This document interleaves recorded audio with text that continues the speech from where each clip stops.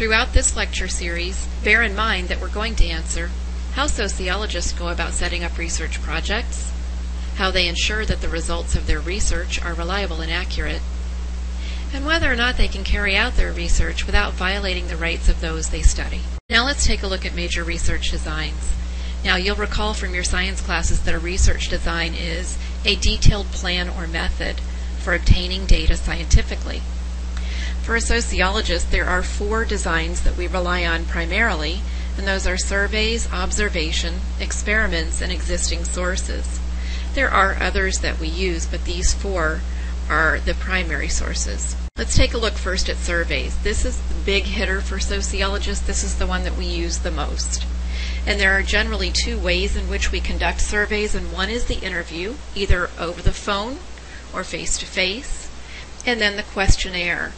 And the questionnaire is usually in a printed form. Now, each technique that a sociologist uses does have benefits and limitations, and we're going to talk about a few of those here. Some of the good things about surveys is that they're usually inexpensive and they're simple to administer, and they do have a very quick turnaround. A survey is very helpful in finding out basic information from a large group of people in a very short period of time. Most of the time, the results of a survey are anonymous, and respondents are generally willing to answer questions on sensitive topics such as income, sexual behavior, and the use of drugs. Even if we're in a face to face setting, we rarely know the research subject's name or any other kind of identifying information, and so it is a confidential, anonymous process. Face to face interviews have an extremely high response rate, up to about 99%, and it's theorized that because that type of situation involves personal contact with the researcher. Now, it's important for the researcher to be able to develop a good rapport with the research subjects. So, if, for example, uh, the researcher walks in with an attitude or with a chip on her shoulder, or presents herself in a way that is not flattering to the research subjects, and a rapport cannot be developed, that can seriously undermine the credibility of the research and the answers that uh, the respondents give. If we have the time to do in depth interviews, or if that's what's called for in our research, we can get a lot of detail about the social world and very, very good descriptions of people's personal experience. One of the interesting things about face to face interviews is that oftentimes the researcher is collecting other data that the research subject is not even aware of. So while we're asking a question, and we're recording the answer to the question. We're also looking at body language, facial expressions, intonations, and all of that stuff can be very useful in interpreting the person's verbal response. Um, if a respondent doesn't understand a question, we can clarify by looking at their, their facial expression. We can maybe say the question in a different way being a good interviewer is definitely a skill that has to be honed. It's not something that you learn overnight. And an observant interviewer can gather lots of information on variables. Uh, you know, you maybe have to go into the respondent's home so you can get a wealth of socioeconomic data that way just by looking around and being observant. Some of the limitations of surveys, particularly those that are mailed questionnaires, are that they have a very low response rate people don't tend to answer things via mail any longer. They're a little suspicious of who's asking for the information and why they want it. Uh, our response rate, in fact, for mailed surveys is at about 10%. Um, if the questions aren't clear or complicated, if you've written them in a potentially offensive way, respondents can simply throw it away and not even think about it again. We also know, interestingly, from gathering data, that people will offer opinions uh, about things that they don't know about. For example, we have done some surveys where we've made up political figures and fictitious legislation and mailed it out and asked questions about it, and respondents have responded to the questions and to the fictitious politician as if they actually exist, and that these respondents know something about the issue.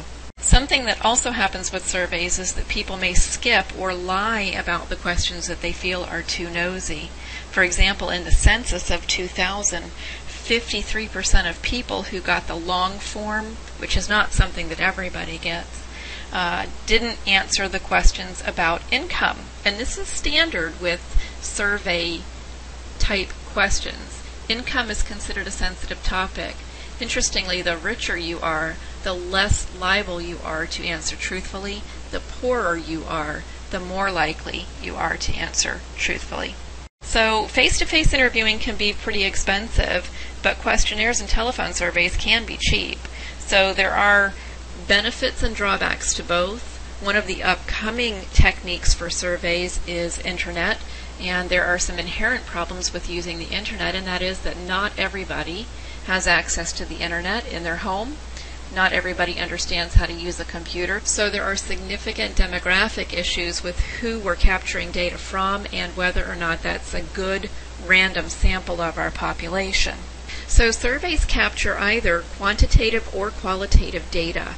If they're capturing quantitative data, it's uh, reporting primarily data that's in its numerical form. This is where oftentimes you'll hear information such as 99% of face-to-face interviews have high response rates and less than 10% of the people who are mailed questionnaires respond to them. They also capture qualitative data. The qualitative data that is captured is usually what happens in the field. So it's not necessarily about the question that you may be asking the person, but it's what's going on in that particular setting that becomes qualitative. So let's say, for example, you're doing a focus group on couples and you have four or five couples there that you're asking questions to. And as a researcher, you can see that one couple is very loving towards each other. They're holding hands and they're smiling and they're making a lot of eye contact.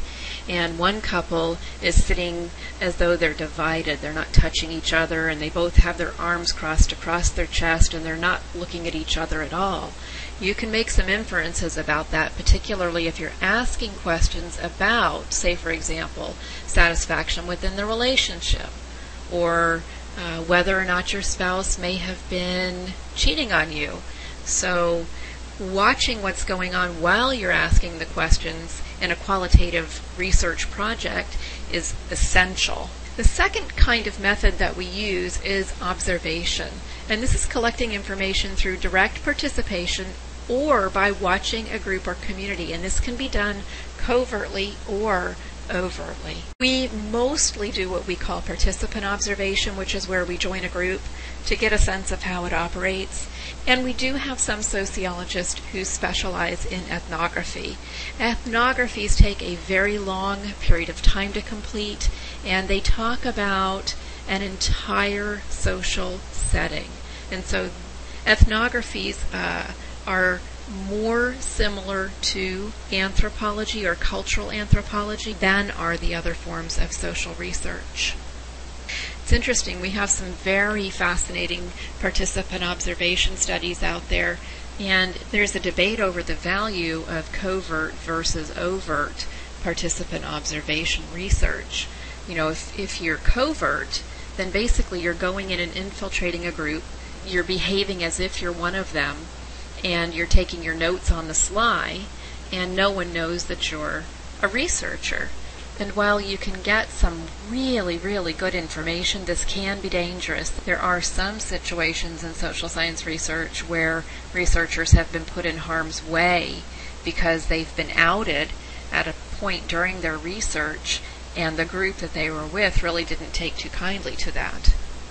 Conversely, with overt observation, the group knows that you're researching them, it can change the way they behave. Ethnographies are a little bit less um, dangerous than that, and in an ethnography, you generally do spend enough time with the group that uh, they get to where they'll let their guard down with you. And by a lot of time, I'm talking some ethnographies take a few years of observation before you're even ready to start trying to compile and gather the information together to publish it. Okay, the next kind of method that we're going to talk about is the experiment. Now, this is an artificially created situation that allows the researcher to manipulate variables. And we almost always have here an experimental group and a control group. Now, experiments are of limited value to sociologists They're interesting, yes. Some experiments in the recent past, as far as sociology is concerned, are fascinating. We can look at the Zimbardo prison experiment. We can look at the Milgram shock experiment. We can look at the Asch experiment on conformity. They have a kind of voyeuristic interest when we watch the films about them. The problem with experiments for sociologists is that they don't replicate the real natural setting of the social world. And so they're of limited value when we want to make generalizations to the population. Yes, we can make some statements about what's happened in the lab when we applied the stimulus, but it's it's a far way to assert that that's the way that people would also behave in the general population. So we, you know, while experiments can can prove to be beneficial, we have to be careful with the assertions we make with regard to how far we can take those. And with experiments, we have to be very guarded against the Hawthorne effect. This is the unintended influence of observers or experiments on the subjects. This is when a subject knows they're being watched and their behavior change, changes because of it. This comes from a famous experiment that was done at the Hawthorne Electric plant. Uh, several researchers came in and said, We're here to observe your productivity for the next several days. And no matter what stimulus was applied to the workers in the plant, productivity increased. And what we really found there was because the subjects knew they were being researched and wanted to please the researchers, their productivity increased. So it's something that we have to bear in mind. Use of existing resources is also a good way to do sociological research.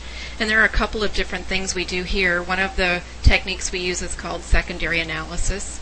And this makes use of previously collected and publicly accessible information and data. For example, I may want to find something out about the southern region of states in America.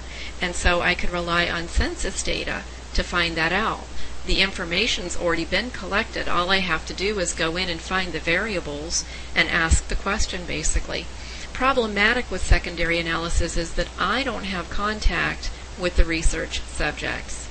And so if there's a question that I might need to follow up with, or if I'm not exactly sure about somebody's response, I don't have contact with that person. And so it is of value for some types of research, but if you have to get into depth with your research questions, then you might run into some problems with secondary analysis. But we do now have in the United States many very, very good longitudinal studies that have been publicly funded where the data banks are right online and available for anybody to go in and use. The other technique we use here with existing sources is what we call a content analysis. And a content analysis is where we might, for example, take some literature and code the words that are in that literature to see how many times they come up and then make some assertions about that. Or we might, for example, take pictures. There was a famous content analysis done several years back now of children's books. And when these researchers went in and coded the pictures and the language in children's books, what they found was the the characters that represented males, whether they were in little boy form or animal form, tended to have more authority in these books than the characters that portrayed little girls or girl animals. Uh, they tended to be more passive. And so a statement could be made then about the positions or the roles of men and women in society, or little boys and little girls in society. Technology really has extended our range and capability to conduct research, and the software packages that we have now enable us to store and analyze much larger amounts of information than we ever were able to do in the past. We'll talk again soon. Take care. Bye bye.